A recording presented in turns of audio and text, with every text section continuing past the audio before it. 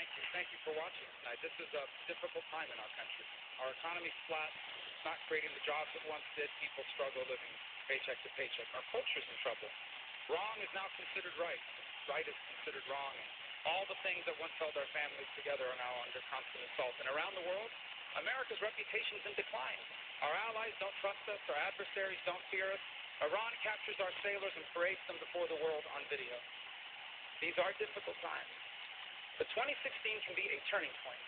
That's why I'm running for president. That's why I'm here today to ask you for your vote.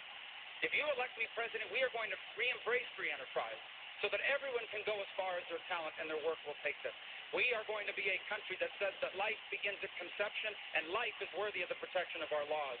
We're going to be a country that says that marriage is between one man and one woman. And we are going to be a country that says the Constitution and the rights that it, that it talks about do not come from our president, they come from our Creator. And we are going to be loyal to our allies like Israel, not enemies like Iran. And we will rebuild the U.S. military so no one will dare test it.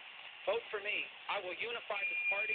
I will grow it. We will win this election, and we will make the 21st century a new American century.